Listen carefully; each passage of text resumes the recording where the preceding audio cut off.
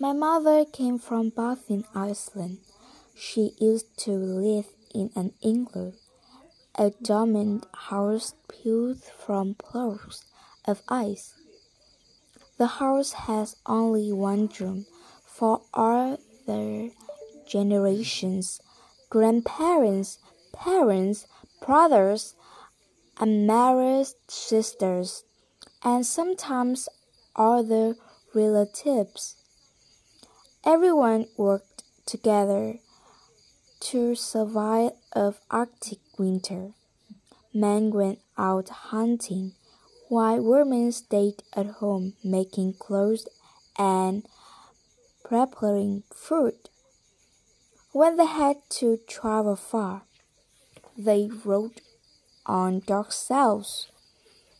At night, they used to entertain themselves by telling and acting out stories. They danced to rum music too.